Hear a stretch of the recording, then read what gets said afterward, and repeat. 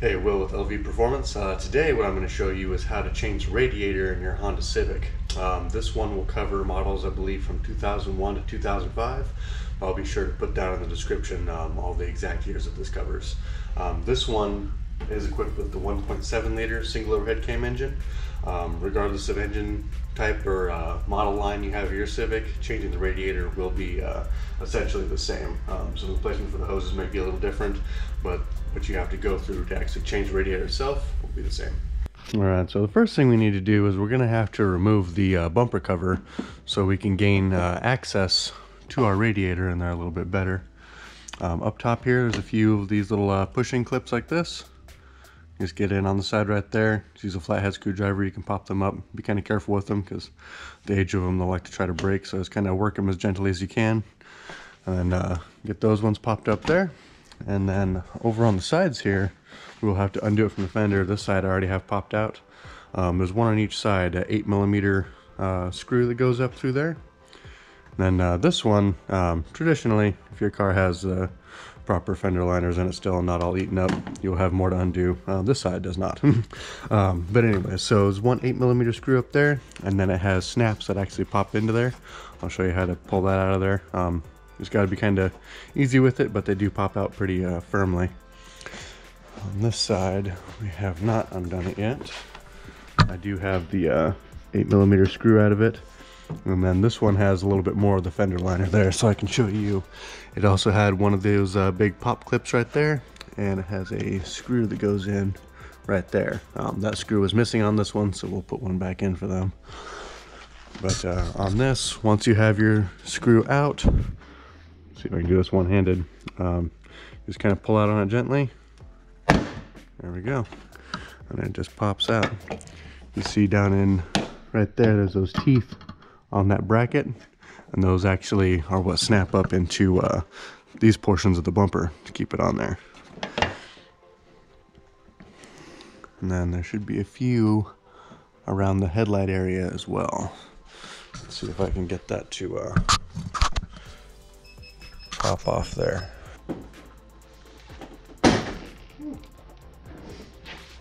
Just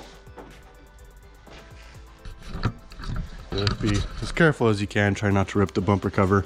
Um, as you see, I kind of got my arm in behind the bumper trying to push on it, keep even pressure. They're kind of similar. These ones up here are a metal bracket, but it still pops into those same style holes to kind of retain it in there. So this whole side of our bumper is loosened up. It's just hanging there. So I'll have to do the same with this side. Um, just be careful once you get the uh, going on, on the second side because once you do that, the whole bumper cover is going to try to fall off. So um, just make sure you got it supported good um, so you don't get it all damaged or scratched up. All right, so we have the bumper cover totally removed. It is sitting over there.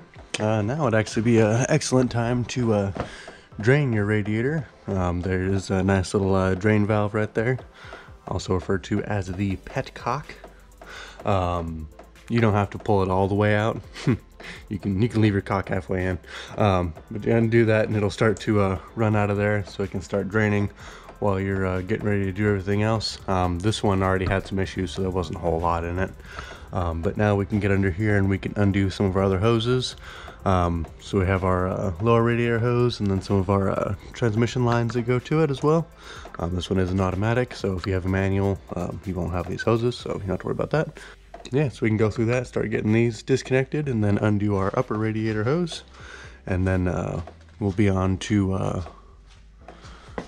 moving the condenser over a little bit so we can get some room, and then uh, trying to get this out. Um, also unplugging the fans. Um, we'll swap over the fans and everything most likely while the radiator is out. Alright, so we got our lower hose off there.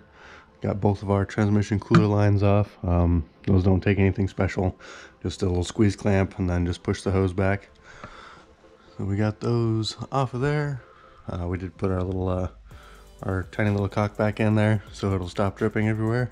And we are done under here. Now we will lower it back down uh, where we can undo the upper radiator hose, unplug the fans, and then move the condenser forward just a little bit so we can pull the radiator up and out. All right, so we have our upper hose off of here.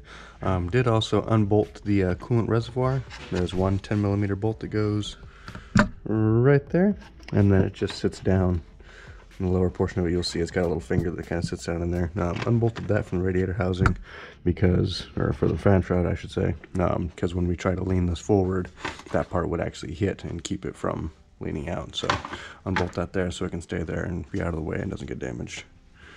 Um, then we have to unplug our, both of our fans. We have those undone right here. This one right there, and this one right there. This regular squeeze clip pops out. Um, they're kind of firm, so careful with that. Um, and then we do have one other, it's hard to see down in here, one spot where the wiring goes around the side of the fan shroud, going to a different, uh, like some of the AC components. Um, we will have to release this little tab that holds the wiring there. And then there's one more connector down there. Um, we'll see if we can get to that one a little bit easier once we get this kind of laid forward a little bit. And these are the brackets that we will be undoing for the uh, AC condenser. So I got a 10 millimeter on each side. Those little brackets will come up off there, and the same for the radiator. It's 10 millimeter on each side, and those brackets come off there. And then what we'll be able to do is actually lay the condenser forward just a little bit. That'll give us some room to lay the radiator that way, and hopefully get it pulled up and out of there a little easier. Okay, so we have our radiator assembly out of the car. The uh, condenser, we lifted it up, set it, because uh, on the bottom of it, it just sits down in these little holes down here lifted it up, kind of placed it forward. It is kind of sitting down on this side a little bit. Um, as long as you don't move it too much, you're not going to hurt anything. You just don't want to start really wrenching on the lines. Um, but just like that, it's just fine. There's my 10 mil that I dropped earlier. Thank you. Um, anyway, so did all that. Uh, for that bracket that was down on the side for that connector, it actually has a very small Phillips head screw um, so once I got the radiator kind of pulled up about halfway up out of there, you're able to uh, get to it. It actually just screws right there. You can undo that bracket and get that off of there. Uh, so now we will be swapping over the fan setups onto our new radiator and double checking, making sure everything is the same on it. Oh, uh, when you are pulling this up out of here, um, it is a little bit of a tight squeeze, especially with this uh, hood release right there, but it actually uh, will slide right between the two fans, so just uh, wiggle it a little bit and uh, it comes out of there fairly easily. Nothing, uh, nothing too crazy. All right, we have everything swapped over onto our new radiator assembly. Uh, some of these will come without the new fittings and you will have to swap them over off of your old one. This one did come with uh, brand new fittings, so when you're putting them on, just try to pay attention to the orientation of how the other ones are set on there. That way, once you get it in there, everything uh, goes back on just the way it was before. Um, sometimes on these bottom bushings, they will stay in the car, and sometimes they'll come out with the radiator. These ones both came out with the radiator, so just make sure to swap those back over. Uh, fans are pretty easy. You just sit down into the little feet right there. Two 10 millimeter bolts on each one. Then always uh, double check, make sure they do spin freely, not bound up against anything or installed incorrectly. That way you don't have an issue uh, later on you're trying to find. All right, we got most of our radiator stuff all hooked back up. Now we're getting the bumper cover back on. Um, when you do, if you have two people, it definitely helps. Um, hardest part is just making sure you get these lined back up correctly. So you can see hard to see in the video, but you can see your witness marks against your clips right there. And all this has to lip in between those. Give it a good pop. Sometimes takes a little more. Kind of the same way, but these ones are plastic clips. Just get that set up right. Snap in. We can go ahead and put in our screws, put in your uh, fender liner retainers if you have them. All right, getting everything installed. Always uh, double check, make sure that, uh, woo. Uh, make sure that anything you touched, you did uh, reconnect. If you don't have one of these cool uh, uh funnels, slash, uh, excellent for uh, burping these things as well. Um, this one is a Lisle one you can get pretty much anywhere. I got this one off Amazon. part number is a 24680 has all kinds of uh, cool adapters to adapt to almost any type of cooling system and uh, really uh, makes it a lot easier and a lot cleaner when you're trying to do these.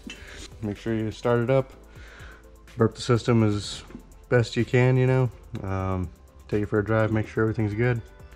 I'm not gonna say burp it as best you can. It needs to be burped properly. Um, yeah. All right, so we're all done with the radiator install on the Civic. Um, this one is pretty simple, you know, real straightforward. The hardest part is just getting the bumper cover off of it and everything and just making sure you don't hurt anything with that. Um, real simple. Um, always go through and double check everything that you have touched. Make sure all the fans are plugged in properly. Make sure all your connections are good. Make sure your clamps are on tight. Like I said, that's the time to double check, you know, when you're going to start on this job. Check all your hoses and everything. We did lose a little bit of uh, transmission fluid from the cooler lines that go into the bottom of the radiator. Uh, you can guesstimate you could probably lose about half a quart or so through those lines and then what will also be residual inside the old radiator when you swap it over. So you definitely want to check your transmission fluid before you run the car or you know while it's at uh, idling at temperature make sure you don't need to top it off or anything. But like I said as long as you don't let it drain for a long time about half a quart or so is all you're going to lose. Uh, we did go through and uh, burp this one as best we could. And then we did take it for a short drive up the road brought it back let it cool down made sure that it was topped off and made sure that our uh, coolant bottle is at the proper level. Uh, ran the heater on high and everything, making sure it has good circulation. The heater does work good, temperature gauge comes up, doesn't fluctuate at all. So always make sure of everything like that. Make sure you don't have any leaks anywhere. Um, though it is unlikely, make sure that the new radiator you got isn't leaking anywhere before you go on any long trips. Uh, so overall, just always double check everything and uh, hope this video helps. If there's anything we did not cover on this job that you have a question on, or anything else about this job, um, go ahead and message us. So if there's a way that we can help you out with anything else you're working on, um, we'd love to help if we can. Um, all right, thanks for watching. Uh, I feel like there was something else I wanted to say.